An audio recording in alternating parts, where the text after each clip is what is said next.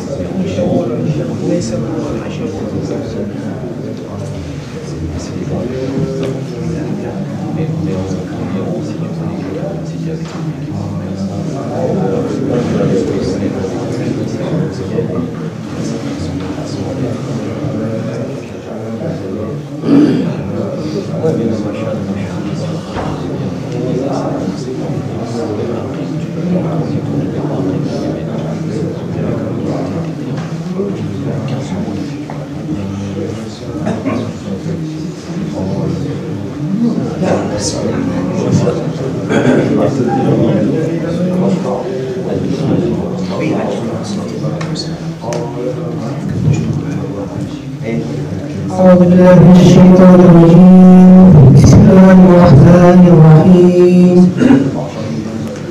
إن الله وملائكته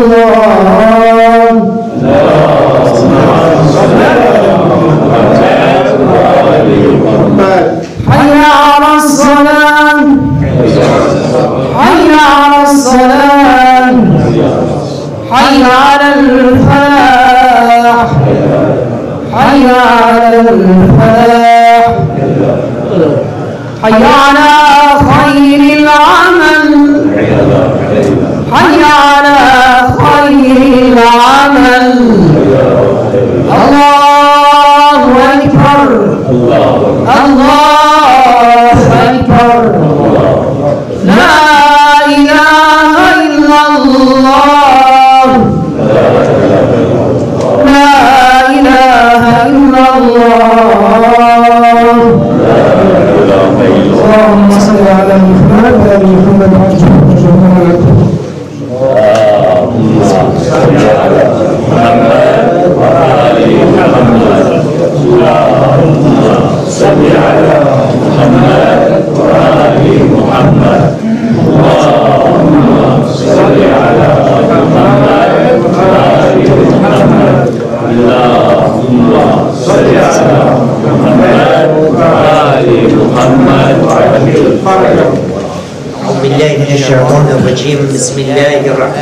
الرحيم.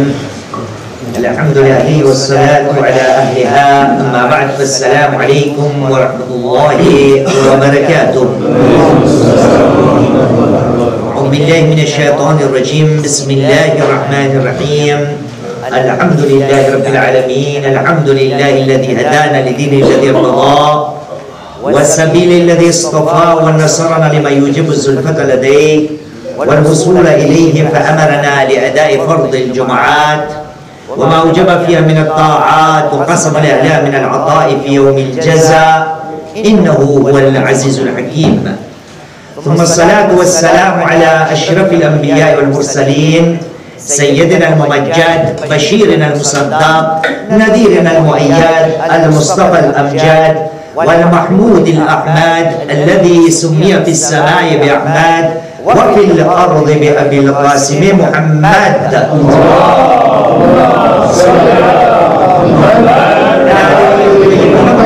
المعصومين الذين أذهب الله عنهم الرجس وطهرهم تطهيرا.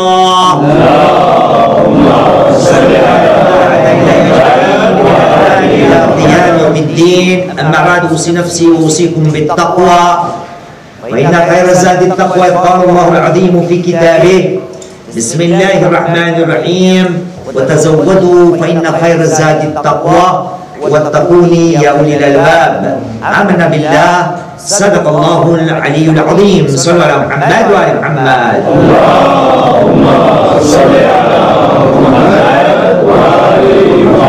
أما بعد فقد قال الله العظيم في كتابه الكريم وهو أصدق القائلين وقوله الحق. بسم الله الرحمن الرحيم. في بيوت أذن الله أن ترفع ويذكر فيها اسمه ويسبح له فيها بالغدو والآصال. آمنا بالله صدق الله العلي العظيم وصدق رسوله الكريم ونحن على ذلك من الشاهدين. رب اشرح لي صدري ويسر لي أمري واحلل عقدة من لساني يفقه قولي. صلوا على محمد وآل محمد. اللهم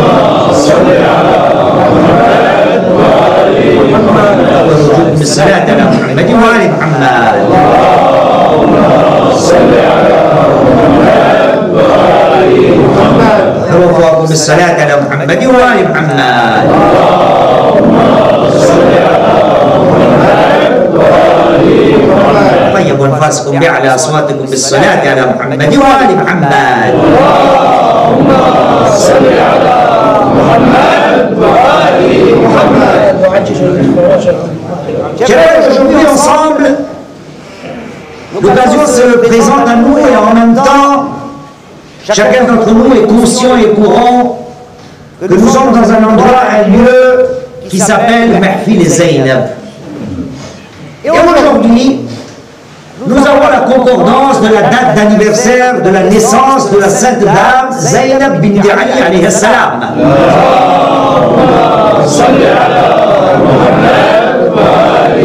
Et donc tous ensemble aujourd'hui, apprenons de cette dame, car nous commémorons sa naissance aujourd'hui. Où a-t-elle vécu? Où est-elle née? Si on se pose juste cette question, nous pouvons répondre par un verset du Saint-Coran. Et grâce à ce verset, nous pouvons nous rendre compte que d'où nous vient alayhi salam. Voyez-vous cette maison? Là où alayhi salam est née Allah subhanahu wa ta'ala, dans le Saint-Coran, dans le chapitre 24, sur le Timour, verset 36, Allah subhanahu wa ta'ala nous parle de, des maisons. Il dit Bismillah ar-Rahman ar-Rahim. في بيوت.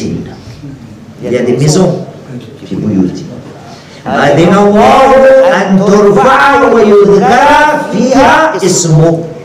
يعني يا دي ميزون دان الله سبحانه وتعالى أبيري ونريد سنو يكون بلوغي فيه دي كان مانير يسبح له فيها بالغطوة والأصال.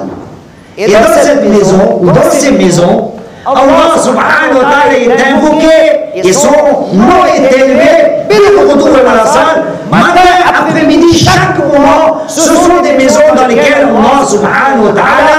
a donné la permission qu'il soit invoqué. Voyez-vous cette maison Quelle est cette maison Quand ce verset est révélé à notre prophète Muhammad sallallahu alayhi wa sallam,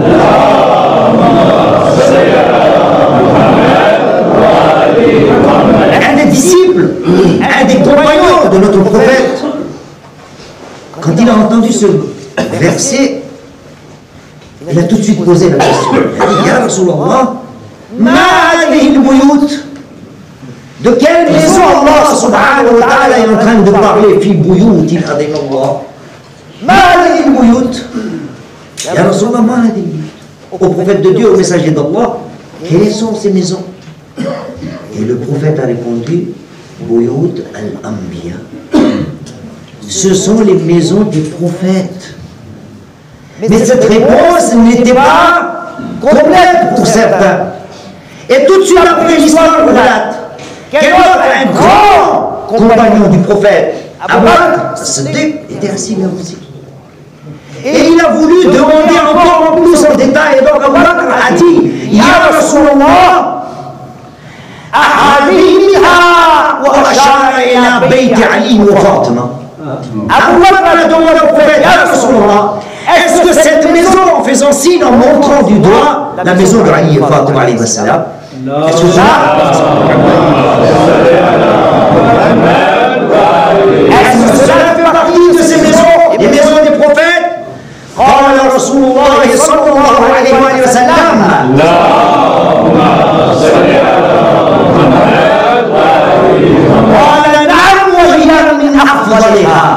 Oh, bien sûr, certainement, cette maison fait partie et elle fait partie des meilleures des maisons. Voyez-vous, chers frères, la, maison d'Ali et Fatima c'est dans cette maison que Zainab a pris naissance. C'est là que vient Zainab Que nous Zainab Nous sommes avec les Zainab et aujourd'hui nous commémorons sa naissance. Qui était Zainab On peut en parler. On va prendre un seul point. Vous avez vu aujourd'hui, dommage, la caméra n'est pas là, mais l'autre caméra elle marche. Vous avez vu tout ça là, ce que je vous ai ramené Parce que des fois, il faut démontrer des choses pour que ça rentre dans le cœur. Et donc, on va aujourd'hui parler de ça. 10 volumes et un volume à côté. Mais laissez-moi le temps de vous chauffer un petit peu. Wa ala Muhammad.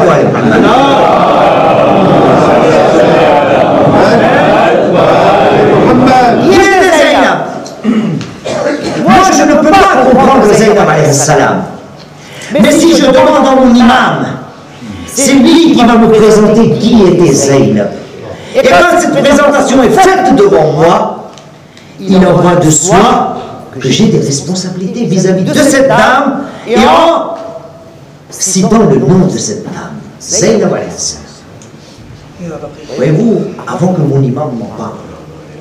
Même les compagnons du prophète, quand ils parlent de Zainab je vais prendre un exemple, encore un autre compagnon du prophète, qui est le rabbi de Hadith al-Kisa Jabir ibn Abdullah Ansari.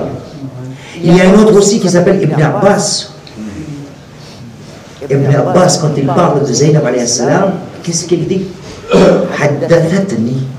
عقيلتنا زينب بنت علي Ibn Abbas, c'est le cousin du prophète. Et lui, quand il rapporte de Zainab, il dit حدثتني عقيلتنا Bien sûr, la traduction du mot aqilatuna, aqila ou aqila, nous allons peut-être le traduire par l'intellectuel, celle qui comprend tout. Voilà comment Zainab était appelée dans son entourage. Mais je vais demander à mon imam, mon cadre imam, mon imam, Zayn al-Abedin, c'est de Sajidin alayhi salam.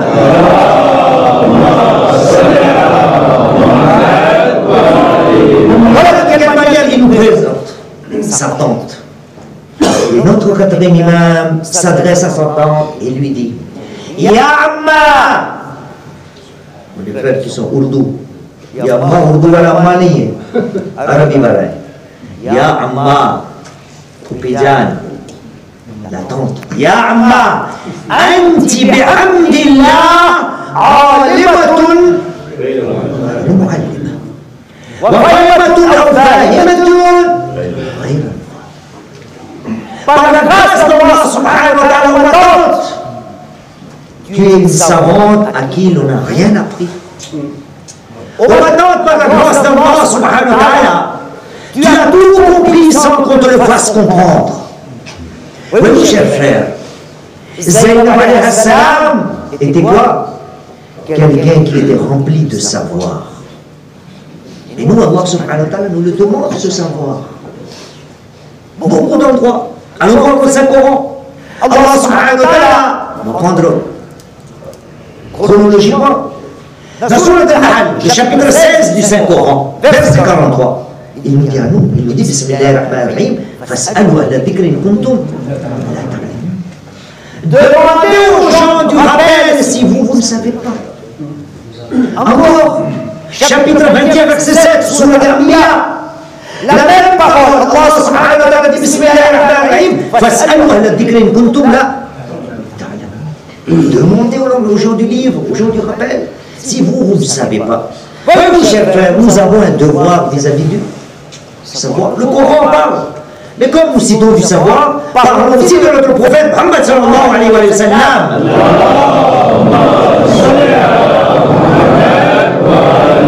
Et c'est là que nous allons pouvoir prendre un tremplin. Comme on dit quelqu'un qui m'a tendu la perche.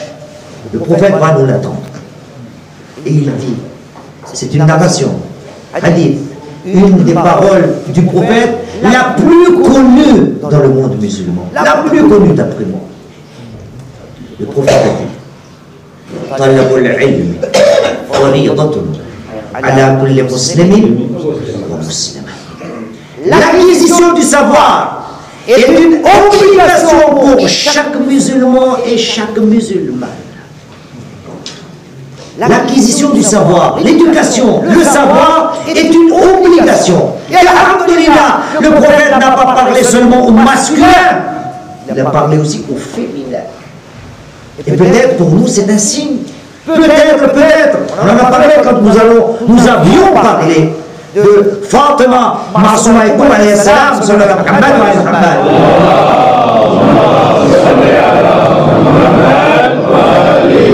L'éducation n'est pas réservée aux hommes. L'éducation, le savoir, l'islam en parle. Éduquez vos filles.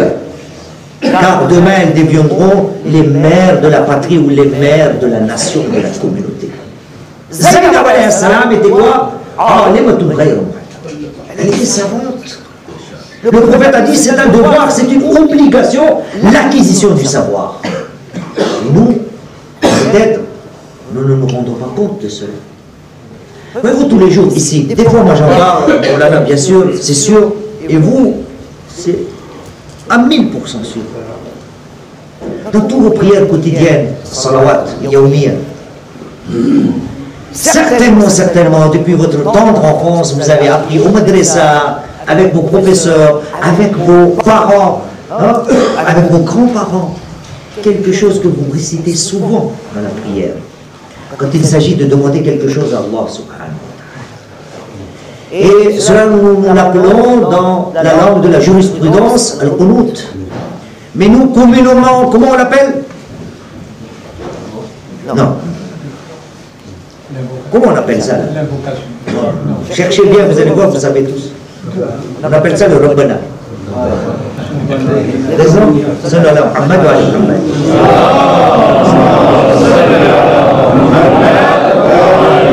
C'est un nom, une nomination que nous avons donnée. Ça c'est le Rabbana. Pourquoi? Parce que dedans, nous avons tendance et habitude, bien sûr, comme il nous a été enseigné, de lire, réciter Rabbana. Et parmi les grands Rabbana, nous savons, quel est le, le plus grand Rabbana que nous savons par cœur, nous tous Assad. Savez-vous, ce Rabbana fait partie du Saint-Coran. Allah subhanahu wa ta'ala, dans le chapitre 2, sur le Baqarah al-Ash, verset 201. Voilà ce qu'il dit. Il dit Bismillahirrahmanirrahim.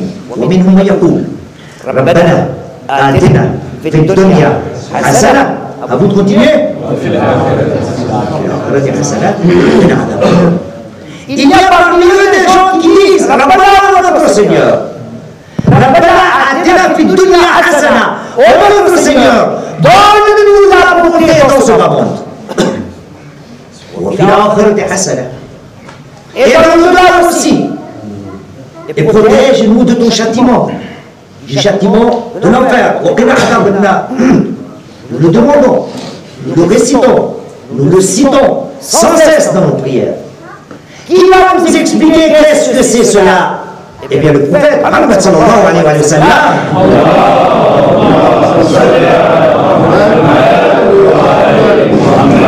Quand ce verset a été révélé, le prophète a dit Savez-vous ce que vous demandez à Allah subhanahu wa ta'ala? ربنا آتنا في الدنيا حسنة يا رسول الله nous demandons Allah subhanahu wa ta'ala في الدنيا فقال الرسول العلم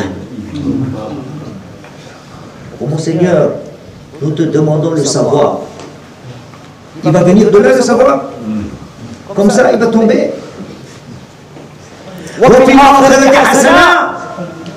te demandons aussi la bonté la hasana dans l'au-delà. Le prophète a vous répondu, dans le delà c'est rien d'autre. C'est quoi Le Jannah. Et donc le savoir, nous l'aurons comme ça gratuitement. Al-Jannah, le paradis, nous l'aurons comme ça gratuitement. Juste parce que nous avons demandé dans nos Qunut,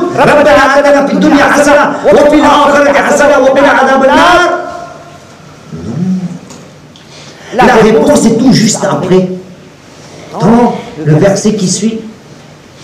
Verset 2, 201, c'est le là. Mais le Coran ne s'arrête pas à 201. Hier, notre verset, c'est le 202. Et là, Allah subhanahu wa ta'ala dit Bismillah ar-Rahman ar-Rahim lahum mimma kassabu hisab Ces gens-là auront une part. De quoi? Mimma kassabu Ce qu'ils ont acquis. Ceux qui ont fait des efforts auront ce savoir. Celui qui a fait des efforts méritera le paradis. Le paradis de savoir ne sera pas gratuit. Pourquoi vous notez un petit peu Je me demande, des fois je me demande pourquoi Allah subhanahu wa ta'ala a utilisé tout de suite après Wallahu sari'ul hisab. Il est fort, hein Son calcul va très rapide. Il va calculer. Il va calculer quoi?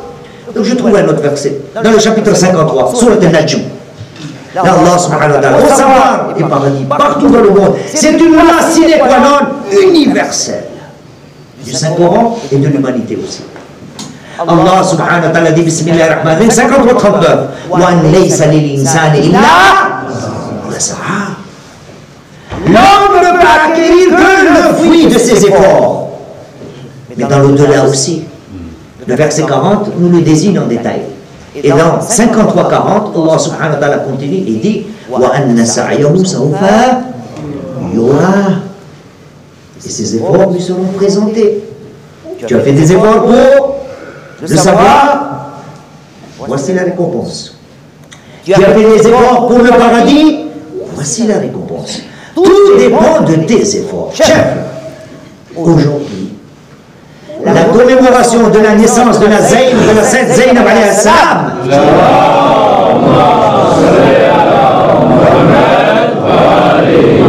Il est de notre devoir de se pencher un petit peu vers le savoir, quel que soit. Quel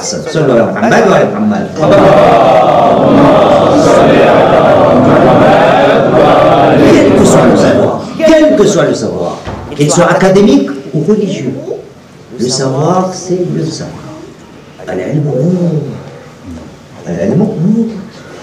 Le savoir, c'est quoi? Lumière, c'est une lumière. Que faire?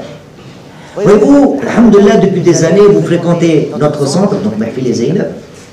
Et alhamdulillah, nous avons nos jeunes, nos volontaires, bon, peut-être il n'est pas très jeune, mais allez, on va dire nos jeunes. Ici, nous, nous vendons des livres. Ce n'est pas la pub pour les livres, c'est mon sujet qui le réclame. Comme nous dit Allah subhanahu wa ta'ala, j'avais autant de savoir devant moi, mais moi je n'ai fait aucun effort. Alhamdulillah, ma fille Zainab est devenue la cité du savoir. Inch'Allah. Nous apprenons ensemble, nous tous ici. Nous avons beaucoup de livres, beaucoup de livres pour s'enrichir. Zainab salam nous a appris. Elle était en les mains. On vous ne nous demande pas d'être des grands érudits, mais au moins avoir une petite partie de l'acquisition du savoir. Aimer le savoir, être curieux, cela fait partie de la nature humaine. Mais moi, ma curiosité, elle est dans d'autres domaines. Le savoir ne m'intéresse pas trop. J'arrive à m'appeler Zainab. Vendredi, j'écoute le khutbah de celui qui crie trop fort. J'écoute et je rentre. Sallallahu alayhi wa Muhammad.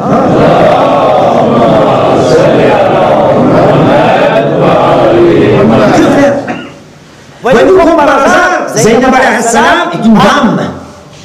Et donc vous, vous qui venez souvent ici, mashallah, et venez tout le temps, inshallah il y a nos dames qui sont à la maison. Dans l'islam, même les dames doivent être éduquées. Elles aussi, elles méritent le savoir. Inch'Allah ta'ala, vous répétez tout ce que vous entendez ici, à la maison. Mais si ce n'est pas le cas, que pouvons-nous faire pour ces dames-là? On ne peut pas transborder chaque Moïse dans chaque maison. Comment on appelle ça là? L'hologramme? L'hologramme, on appelle ça. Hein? Je ne peux pas aller dans toutes les maisons, moi. Et donc, comme moi, je ne peux pas aller dans toutes les maisons, c'est le savoir qui doit aller dans toutes les maisons. Comment faire? Il y a la lecture. Juste une lecture. Voyez-vous, tous les érudits que vous écoutez, ça c'est mon avis personnel. Un érudit, celui qui prêche la bonne parole d'Allah subhanahu wa ta'ala, ne peut pas être érudit s'il n'a pas dans sa maison. En tant que musulman, nous disons, un musulman ne peut pas être musulman s'il n'a pas le Coran dans sa maison. C'est possible ça qu'un musulman n'ait pas le Coran dans sa maison C'est pas possible. Et donc, il n'y a pas que le Coran, on ne se limite pas au Coran. Nous avons d'autres livres. Nous avons Mofatir al-Jinan, nous avons Najul Balara, nous avons Saïfatou Sajjaliya, mais en même temps, tout ça, ce sont des livres du savoir. Que mettre dans la maison? Je répète, ce n'est pas pour une publicité. Mon devoir, si au moins un parmi vous, un, une seule personne, y réfléchit un petit peu, peut-être le khutbah d'aujourd'hui, nous allons le réussir, Inch'Allah. Sallallahu alayhi wa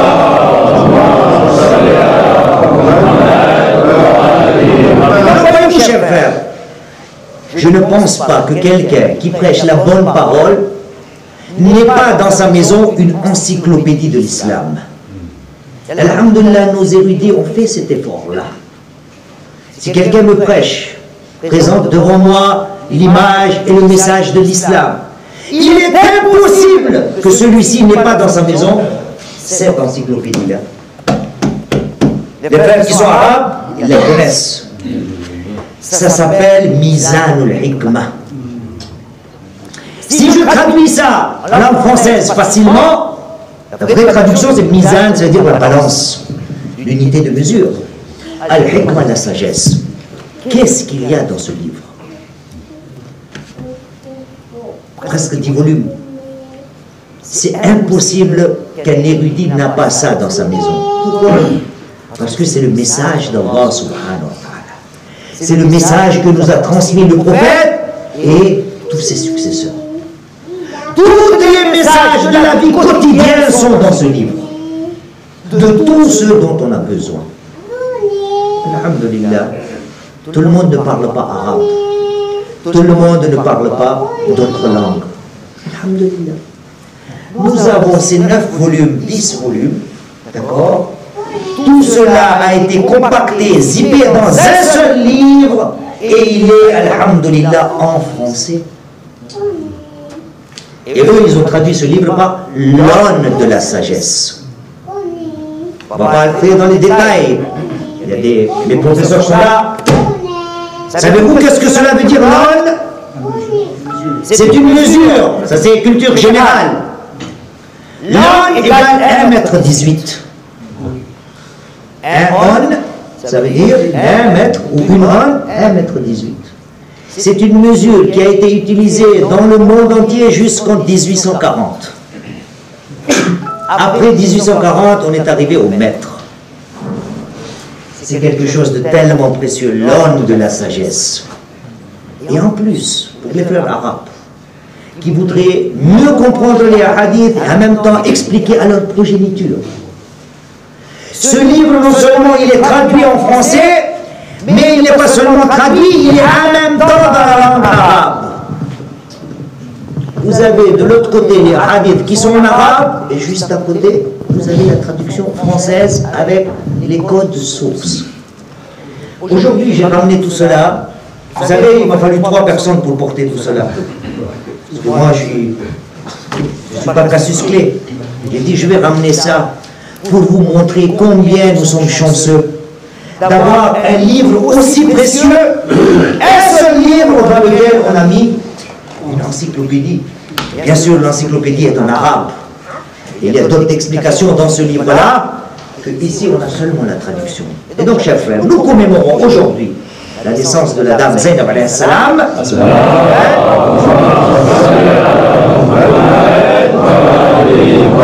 Si on n'est pas intéressé par d'autres livres, moi je dis, ce livre doit faire partie de ma bibliothèque personnelle. Je peux apprendre avec ça. Je peux, je peux apprendre à mon voisin, à mes enfants, à ma femme. Et si je donne ça à ma femme, voyez-vous, c'est pas donné, hein. Je le dis aussi, c'est pas donné. Non, 130, c'est trop peu. Vous allez sur les livres, sur les sites qui vendent ce livre, il y a 250 dollars. Oui, parce que ce qu'il y a dedans pèse lourd. Mais alhamdulillah, notre Zakir il est là. Vous l'aurez pour 100 euros ici. Allez voir après Zakir Bay, il n'en a pas beaucoup. hein. À ma connaissance, il n'y en a que trois. Les trois premiers l'auront, après il n'y en a plus. Voilà, la pub, c'est pas pour le livre, c'est mon sujet, le savoir. Et bien traduit, le savoir, chers frères. Je ne peux pas être un bon musulman si au niveau du savoir, je ne porte aucun intérêt. Demandons Allah subhanahu wa ta'ala qu'il nous donne cette force, cette grâce pour s'intéresser au savoir. هذا والحمد لله رب العالمين. ربنا تقبل منا إنك أنت السميع العليم. بسم الله الرحمن الرحيم. والعصر. إن الإنسان لفي خسر. إلا الذين آمنوا وعملوا الصالحات وتواصوا بالحق وتواصوا بالصبر. أعوذ بالله من